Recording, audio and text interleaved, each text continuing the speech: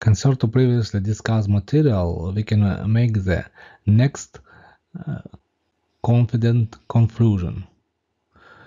CPP is uh, very often in use for DP purposes, and thus we have uh, to determine the main thruster failure modes which may happen with the CPP technology. One of the problems which we have is the damage of the system from the ingested ropes or contact damage. Some problems appear during period of use in case of seal failures, especially on CPP units. Loss of hydraulic fluid may give us a problem in command of the blade. Failure of control valve gives us non-response from the blade. Any other mechanical failure in piston group may give us non-commandable blade. Feedback failure may happen due to all discussed problems and then the blade will not follow to indicator placed at the bridge.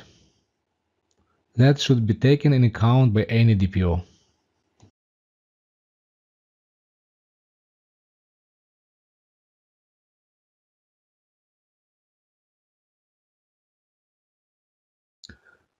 DP operator should continuously monitor the thruster's performance when on DP using appropriate page of DP systems interface. The operator's demands uh, should match the system's feedbacks with the minimum time delays. This is the main idea of monitoring uh, of thrust group.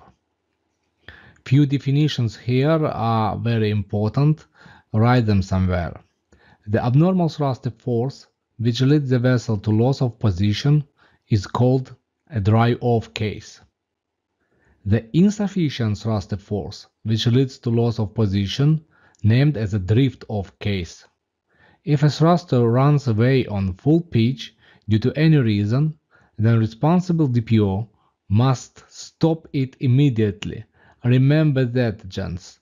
At any DP bridge, we have emergency shutdown panel responsible for emergency stop of desired thruster, probably the thruster which failed and any DP vessel class 2 or 3 must have this panel near the P console.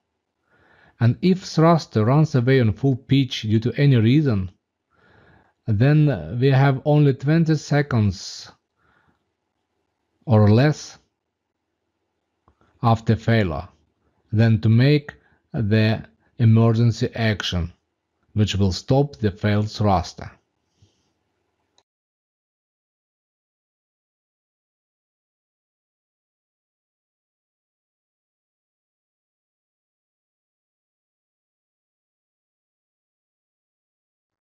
In Kongsberg Post 7, at the thruster main page, we have a, a part of the panel which continuously indicates you the feedback and set point on the thruster group. And if here you have uh, some inconsistent parameter or huge discrepancy between feedback and set point, then if you suspect any thruster which failed Based on that uh, system menu, you have to switch the thruster on emergency with further report to engine room. The right sequence of actions is like that. If you are in auto position, and if the vessel started to deviate from desired heading and position, you may proceed back to joystick. And then you may keep the joystick in zero demand, and then you have to observe at the thruster main panel. Do you have any thrusters any loads when joystick gives the zero demand? If there is any thruster which provides you the force, then probably this thruster is the barrier for you, which might be emergency switched off. Remember that.